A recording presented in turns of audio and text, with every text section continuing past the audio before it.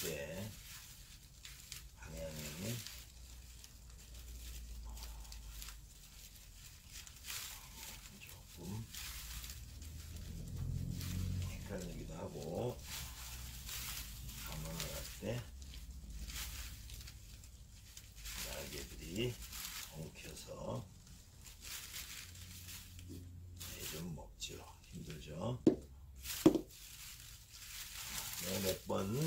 달해보면 그다음부터는 그렇게 어렵지 않을 거예요. 그렇지만 신장 때문에 만드는 것이 자주 하는 일이 아니다 보니까 처음 하시는 분들은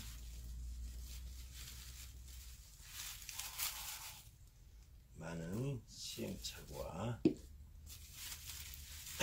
실수를 하게 될 수도 있습니다. 실수와 시행착오를 두려워하면 못하겠죠.